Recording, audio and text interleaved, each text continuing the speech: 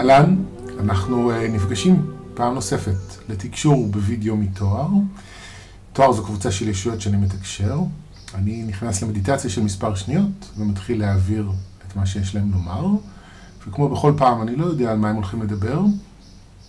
הם יגידו את מה שהם רואים לנכון לומר בנקודת זמן זו, וזה תמיד אמור לענות על איזשהו צורך שיש לכל מי שמעורב בווידאו הזה, אני, ומי שצופה בזה.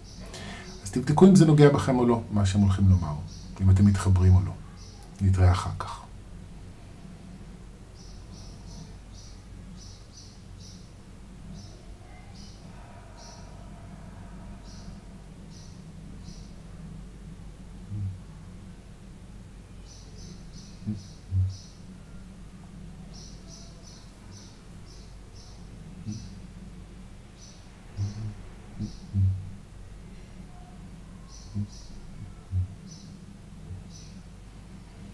אם כך, שלום.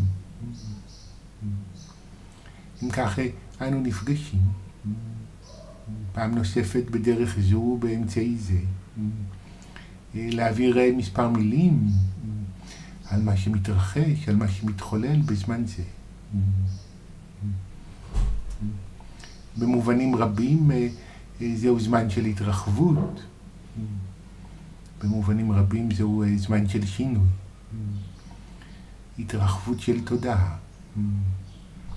התרחבות של הבנה לגבי מי אתם, לגבי מהן היכולות שלכם.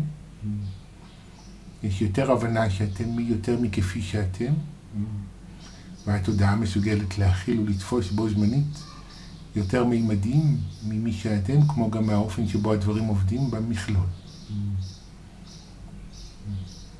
אבל אל מול זה, אל מול ההתרחבות הזו, אתם עשויים לחוות בעוצמה רבה מבעבר את הגבולות שלכם.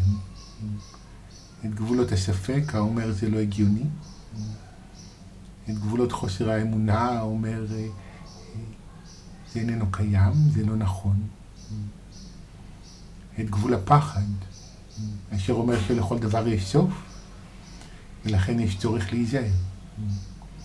הגבולות הללו עשויים להיות בולטים יותר, ברורים יותר בזמן הזה, דווקא משום שהתודעה מתרחבת, דווקא משום שההבנה גדלה.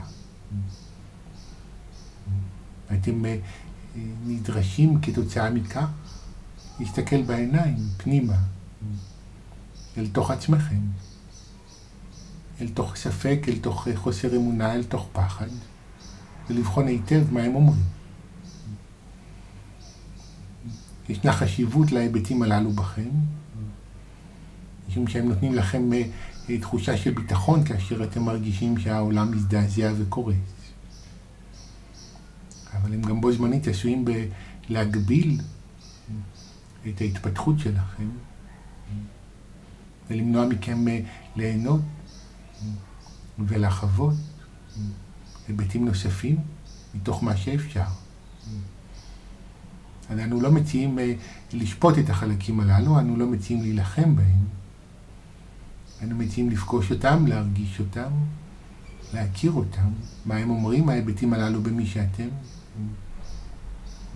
מה באמת נכון בתוך מה שאותם ההיבטים אומרים, היכן באמת ישנו צורך בגבול,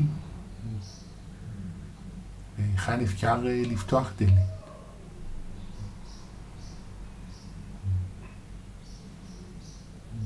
אלו הדברים לפעם זו. פיגשו את הגבול ופיתחו מחדש דלת נוספת. שמחנו, אם כך שלום.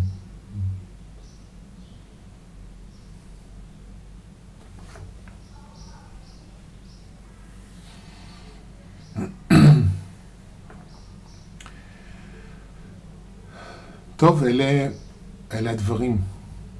ספק, חוסר אמונה ופחד. אני מניח שלחלק ממי שצופה בווידאו הזה זה בדיוק מה שעובר בפנים, ובכלל בכל מה שקשור למיסטיקה, אבל יותר מזה, לגבי מי שאנחנו. כי מיסטיקה היא היבט נוסף במכלול של מי שאנחנו, ואפילו יותר מהיבט נוסף. זו המהות של הדברים שחוצים את ההיגיון ומוכנים להסתכל על מציאות כפי שהיא. אז אני מחבר את זה למיסטיקה, אבל זה נוגע בעוד דברים שיעורי בית חשובים בעיניי. תודה שהייתם, אנחנו ניפגש במסר הבא. ביי ביי.